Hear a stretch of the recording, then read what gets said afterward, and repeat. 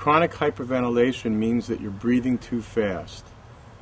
Breathing too fast causes your carbon dioxide level to drop and your whole body becomes too alkalotic. By normalizing your breathing, you can bring your carbon dioxide level back to normal and correct the pH.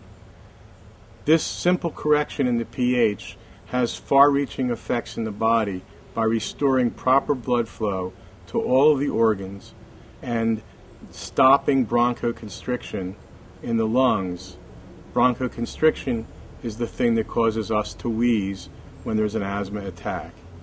The Buteyko theory basically says that wheezing is the body's defensive response to hyperventilation.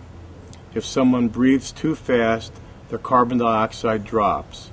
By wheezing, the lungs hold on to carbon dioxide and try to correct the pH.